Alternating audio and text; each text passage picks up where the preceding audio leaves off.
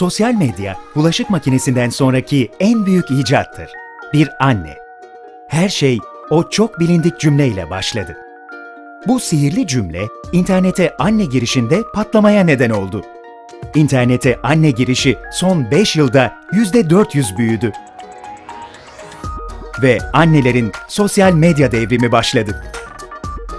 Türkiye'de 5 milyondan fazla anne Facebook'ta ve bu sayı giderek artıyor. Annelerin %89'u çocukluk arkadaşını bulmak bahanesiyle Facebook'a giriyor. Oysaki %88'inin asıl amacı çocuklarını 7-24 takip edebilmek.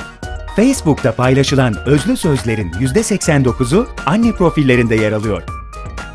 Anneler tarafından en çok rağbet gören paylaşımlarsa kedi ve bebek videoları. Bu videoyu Facebook'ta 26 milyon kişi izledi.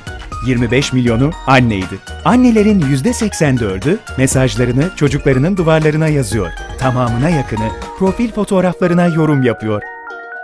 Facebook'un yaratıcılarının bizzat kendi annelerinden gelen dürtmelere dayanamayıp bu özelliği kaldırdığını biliyor muydunuz?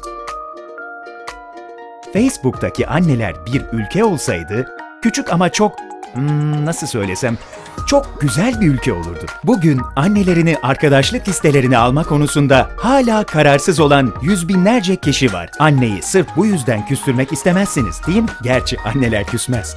Ve Twitter. Aslında Twitter anneler için çok daha avantajlı.